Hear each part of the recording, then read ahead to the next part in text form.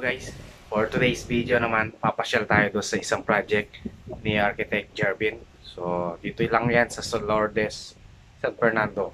So, tara, ipakita natin at liputin natin yung bahay. So, ipapakita natin yung wiring niya. Tsaka yung mga cabinet, tsaka lababo, lahat-lahat. So, so, ayan guys, nandito na tayo sa Lourdes, San Fernando, Pampanga. So tara, pasukan natin yung project ni Architect Jervin Rivera. So sa lahat ng gustong magpagawa ng bahay, so PM lang kayo sa page ni GB Rivera. So ayan, pasukan natin guys. Papakita ko sa inyo yung loob niya. So ayan yung kanyang wiring. Yan yung mga ginawa namin ni Utol Gerald Rivera. So ayan din yung kanyang tiles. So naka lat latex muna yung kanyang pintura. So yung labas naman ginugroup ni kuya.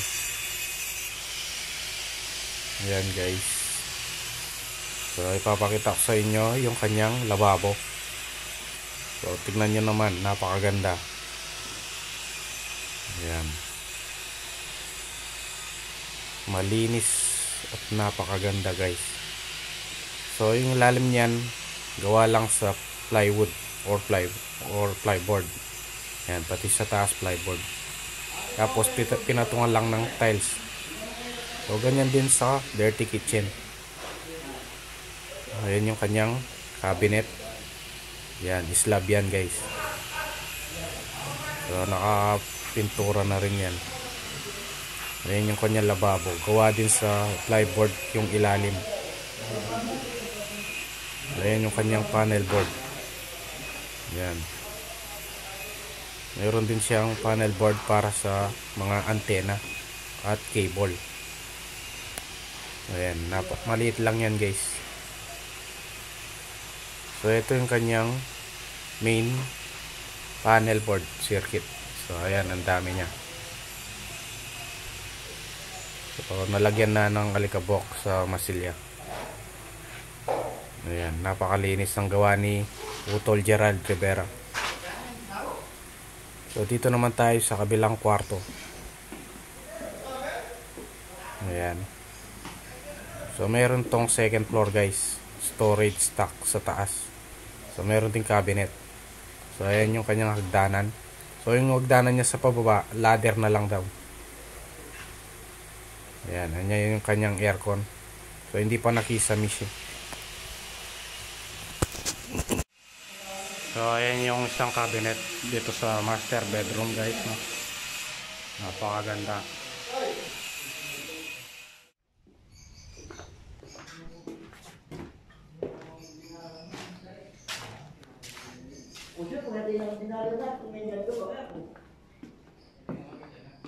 So, itong kanyang CR guys. So, hindi pa na-tiles yung sa ilalim. Ayan yung mga drawer ng kanyang master bedroom. So ito naman yung CR ng master bedroom. Hindi pa rin siya natatiles at nagkikisame. Ayan. So hindi pa nakabang yung ating ilaws para sa banyo. Ayan yung mga drawer. So yan yung drawer ng ating cabinet. Ayan yung wiring ng ating master bedroom. So nakalagay na rin yung abang ng kanilang aircon. So ayun yung mga wiring natin para sa aircon. Ayan yung kanyang cabinet guys. So punta naman tayo dito sa kabilang room. Ayan yung mga wiring sa CR. So ito yung kabilang room. So maliit lang to pero maluwag na para sa isang tao. So ayan yung cabinet. So meron tong apat na ilaw. So ayan guys, hanggang dito muna yung ating ipapakita sa project ni Architect Jervin Rivera. So sa pagbalik natin dito siguro tapos na. So malatatakpan na siguro yung kisame. So antabayanan lang natin yung next vlog. So so, susunod na lang guys. Maraming salamat.